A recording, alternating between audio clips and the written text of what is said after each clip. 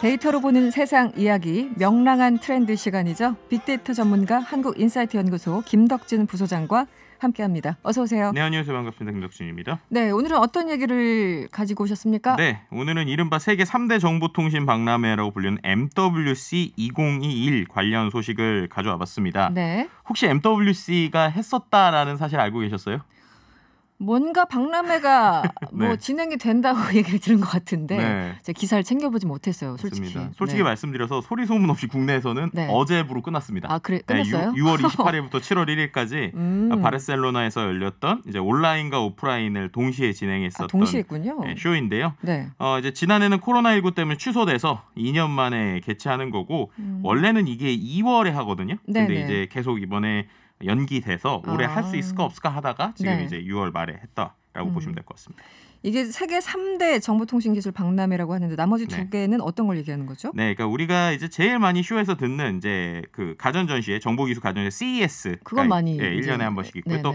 IFA라고 그래서 IFA라고 해서 독일 쪽에서는 가전 박람회가 있습니다. 아. 그래서 그런 건 약간 백색 가전 중심이고 아, 그리고 이번에 했던 MWC는 말 그대로 모바일 모바일. 스마트폰이나 통신과 어. 관련된 거고 CES는 전체적인 가전 전반에 음, 음. 대한 쇼라고 보시면 될 것 같아요. 총체적으로 아주 신기술들을 볼 수 있는 그런 말 그대로 박람회일 텐데 네네네.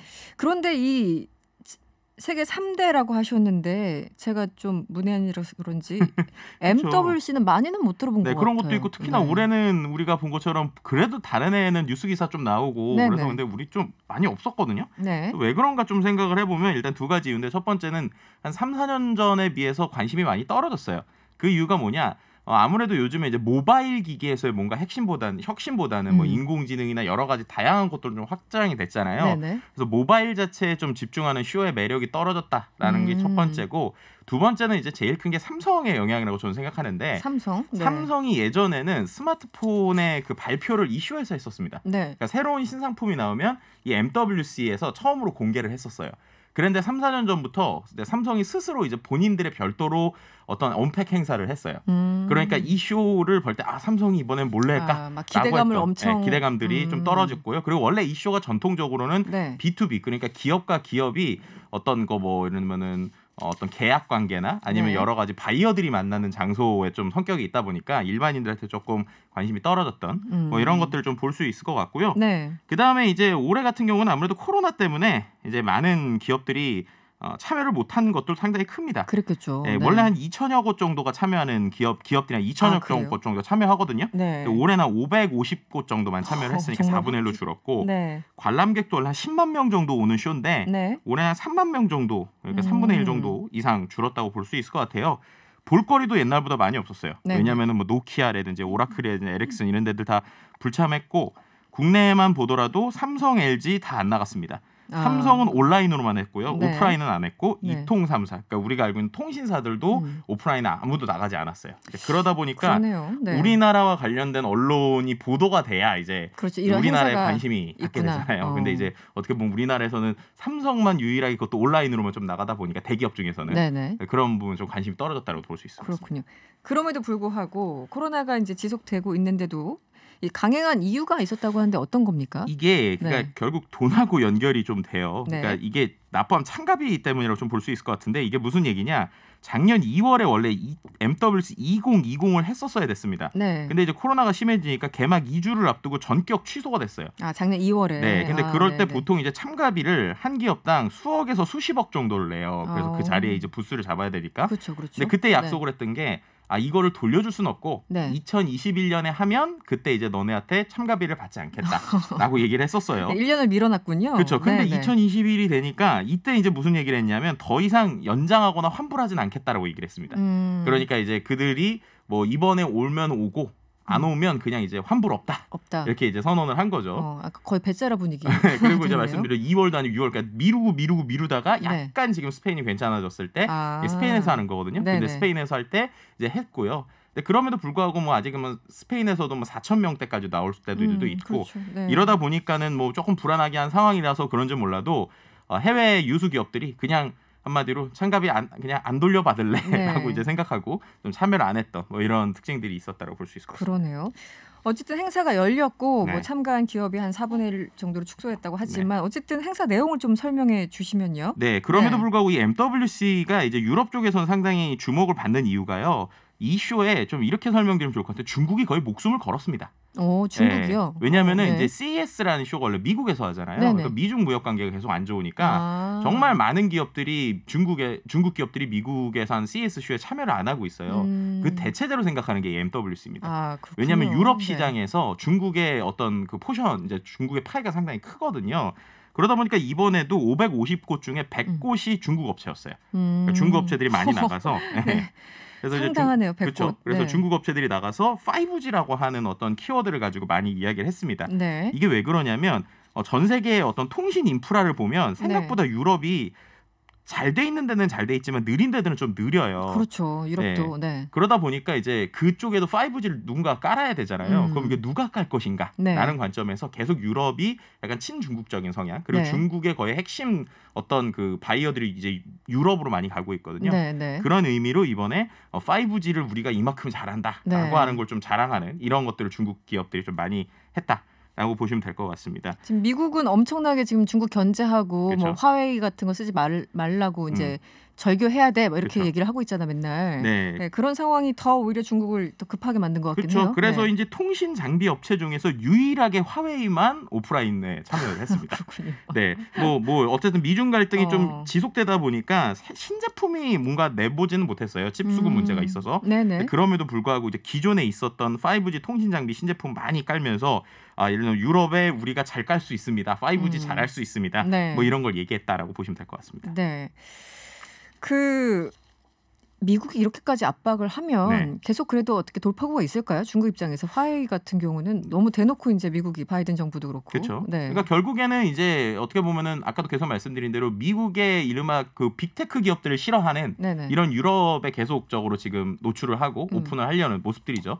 실제로 이게 이제 말씀드린 것처럼 화웨이 말고도 뭐 ZTE나 차이나 모바일 같은 데들이 네네. 기조 연설 무대 에 계속 올랐어요. 어. 그만큼이나 유럽에 대한 시장에 대한 파이를 계속적으로 음. 욕심을 내면서 가고 있고 말씀하신 보안에서 보안 문제에서도 우리는 어 그 좀 어느 정도 그 어, 버틸 수 있다 뭐 이런 얘기 나오는 건데요. 음. 예를 들면은 좀 녹록치 않더라도 그 안에서 어 오히려 이제 다수의 유럽 통신사랑 네트워킹을 하기 위해서 여기 온 것이 아니냐. 음. 그러니까 결국에는 말씀드린 대로 이게 바이어들 간의 만남의 장소기 때문에 그 네. 만남을 해서 아 우리 거 괜찮아요라고 네네네. 이제 풀려고 오프라인에 간 것이다라고 아. 좀 해석해 보는 게 좋을 것 같습니다. 안심하고 써라 이런 거죠. 네, 뭐뭐 정보 거라고 빼내간다 볼수 이런. 얘기를 미국에서 워낙 이제 했었으니까. 네네.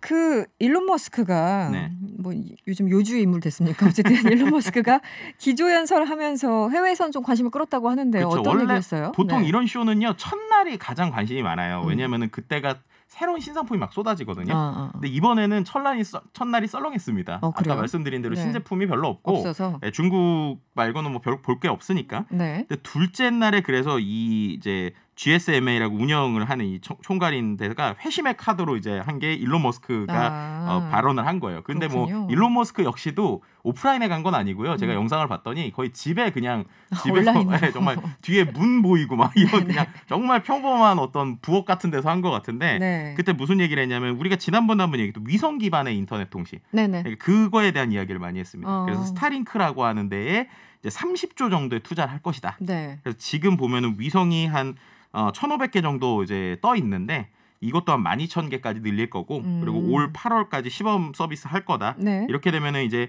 지금 전 세계 인구의 삼- 절반 정도가 아직 인터넷을 사용 못 한다고 그래요. 37억 정도가. 음. 근데 뭐 예를 들면 남극이나 사만 뭐 이런 데 있는 사람들이겠죠. 네. 그런 사람들도 이 위성을 통해서 인터넷을 음. 연결하겠다. 그래서 우리가 어떻게 보면 기존에 있지 않은 위성 인터넷에 대한 걸 키우겠다. 뭐 네. 이런 식의 발언을 하면서 음. 좀 관심을 끌긴 했지만 솔직히 뭐 그 이상의 어떤 걸 바랬던 사람들한테 조금 그냥 쉬쉬하게 넘어갔던 그래서 생각보다는 기대만큼은 좀 음. 못했다. 뭐 이 정도 얘기할 수 있을 것 같습니다. 그렇군요. 전 세계 인구 절반 37억 명이 인터넷을 사용하지 못하고 있다. 우리는 특히 한국은 네. 인터넷이 너무 너무 잘 되니까 이런 거 사실 별로 의식 못하면서 사는데 그쵸. 다시 한번 놀랍네요 숫자를 보면. 네, 보면.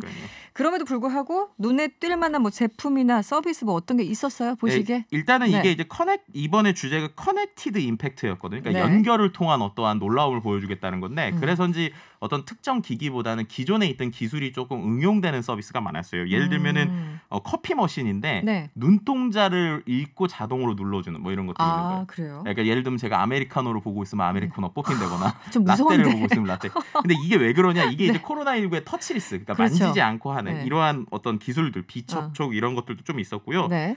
또 이제 뭐 예를 들면은 이제 요즘에 그 음식과 관련된 이슈들이 많다 보니까 친환경 동물 복지와 관련돼서 3D 프린팅인데 그 캡슐 커피 있잖아요. 네네. 캡슐 커피처럼 캡슐 고기가 있어요. 아 그래서 그래요? 네, 그래가지고 캡슐을 예, 예를 들어서 제가 예를 들면 오. 빵에다가 뭐 예를 들면 소고기야 뭐 돼지고기 올리겠다 그럼 소고기 캡슐, 돼지고기 캡슐 같은 걸 넣고 3D 프린터로 딱 출력을 하면 네. 그럼 그 고기가 이렇게 나오는 음식이 나오는 뭐 이런 것들까지 어, 굉장히 혹한데요. 네, 그래서 근데 이제 그 고기가 어떻게 보면 완두콩이나 쌀에서 나온 단백질인 거예요. 그러니까 음. 우리가 이른바 이제 옛날로 치면 콩고기 같은 건데 이제 그러네요. 훨씬 고기처럼 맛있게 하는데 네. 캡슐로 연결하는 뭐 이런 식의 아. 좀 재미있는 것들도 있었고요. 네. 그 외에 또 한 가지 좀 재밌는 거는 스마트 안경인데 이건 뭐냐면은 그냥 안경 끼면 내 눈앞에 140인치짜리 화면이 계속 보이는 거예요. 음. 근데 이게 이제 제가 움직인다 하더라도 그 화면의 각도가 그대로 아, 떠올라 그대로? 딱, 네, 쫓아오니까 와. 네. 거기다가 이제 예를 들어서 USB-C 케이블로 연결을 해서 네. 영상을 본다든지 어. 네, 이런 것들도 이제 곧 나올 것으로 보이고요. 네. 뭐그 외에 이제 뭐 스마트 지팡이라고 그래서 시각 장애인들이 안 보이시는 분들한테 지팡이가 있는데 이게 초음파 센서가 있어서 어. 장애물 센 장애물을 감지하고 네. 휴대폰 대신 위치도 안내하고 식당과 카페 정보를 주는 뭐 이런 것들까지 좀, 멋진데요. 예, 네. 좀 재밌는 제품들은 여전히 좀 많이 있었다라고 볼 수 있을 것 같습니다. 알겠습니다. 어쨌든 이번에는 크게 인기를 끌지 못했지만 그래도 얘기를 들어보니까 속속들이 또 네. 내용들이 조금 있긴 있었네요. 네. 네, 오늘 말씀은 음, 여기서 마치도록 하겠습니다. 지금까지 명랑한 트렌드 김덕진 부소장이었습니다. 오늘 고맙습니다. 네, 감사합니다.